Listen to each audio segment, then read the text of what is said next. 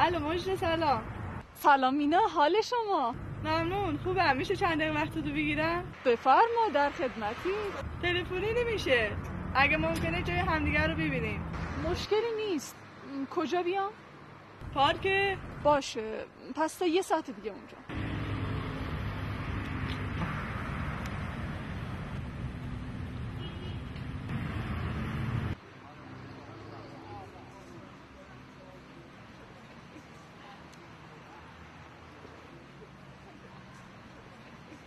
خب مینه خانم قضیه چیه؟ راست مجده می‌خواستم باید مشورت کنم. چطور بگم؟ ازت کمک بگیرم خواهش می‌کنم. چه کمکی؟ برای که از دوستان موردی پیش اومده. خیلی فکر کردم. دیدم تو روانشناسی خوندی. شاید بتونی کمکم کنی. نمی‌دونم. حالا بگو موضوع چیه؟ پس میرم سر اصل مطلب دیروز پس از مدت ها یکی از دوستان رو دیدم. خلاصه کلی با هم صحبت کردیم. در آخر چیزی گفت. خیلی ناراحت شدم. مگه چی گفت؟ اینکه مدتی با یه پسر دوسته. حرفایی زد باورش برام سخته. چه حرفایی؟ چی می‌دونم؟ میگه می‌خواد تجربه پیدا کنه و از این جور مزخرفات ببینم شرط خانواده دوست چطوره؟ پدرش شغل آزاد داره و مادرش هم خونه داره. لازم مادی هیچ نوع کم کسی نداره. هر جو بخواد براش فراهم می‌کنن. نکنه این دوستت. اسمش چیه؟ آرزو. نکنه آرزو قصدش ازدواجه. اون آره ولی پسره بهش گفته نمی‌خواد باش ازدواج کنه. فقط در حد دوستی با هم باشن. خانوادش در جریان هستن؟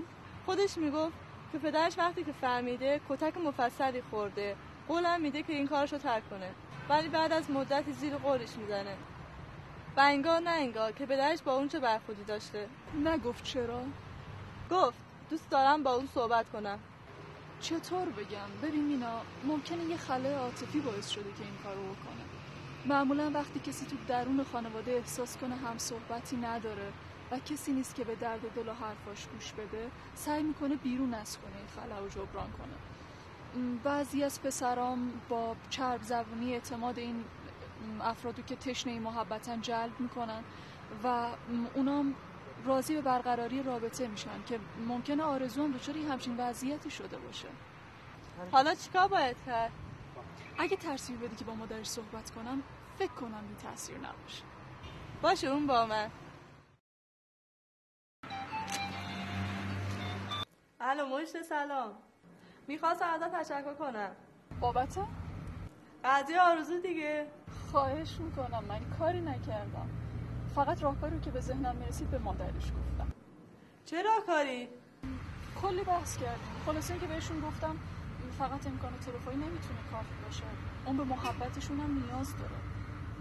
تا این کمبود و بیرون از خونه جبران نکنه. یعنی در واقع این اتش رو با آب دریا برطرف نکنه.